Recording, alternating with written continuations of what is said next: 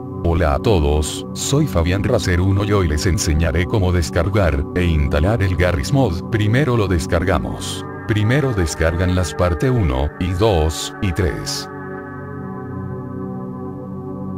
Después, cuando termine lo extraímos.